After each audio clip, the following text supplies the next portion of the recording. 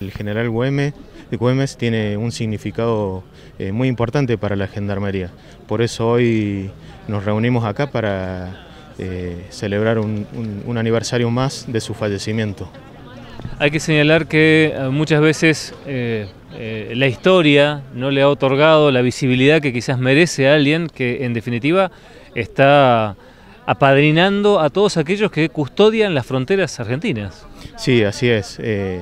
Nosotros de hecho tenemos la escuela de gendarmería que lleva su nombre, eh, el nombre del general, donde egresan los oficiales de la fuerza y a partir de ahí eh, se despliegan hacia las fronteras.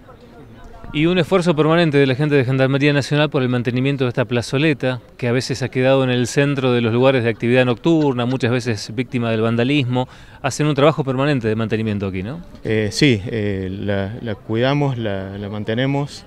Eh, cada tanto recorremos también y, vemos que justamente que no sea utilizada para esos fines. Hay como una, una apuesta permanente a mantener lo que es el parquizado, la limpieza del busto mismo, ¿no?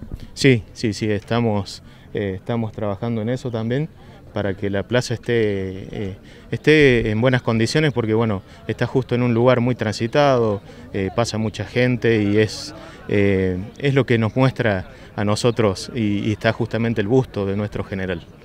Cuando los chicos dicen, ¿por qué es feriado hoy? ¿Por qué no fui a la escuela hoy? Es por Güemes. Cuéntele a un chico por qué hay que recordarlo. Y al general Güemes hay que recordarlo porque fue uno de los tantos próceres más que dio la vida por nuestra patria. Eh, los chicos eh, por ahí no conocen tanto la, esencia de nuestros próceres, que es lo que no se debería perder. ¿no? Ahora tenemos pronto también el día, el día 20 de junio y eh, los chicos deben saber que es uno más que peleó por los valores de nuestra patria, es el general Martín Miguel de Güemes.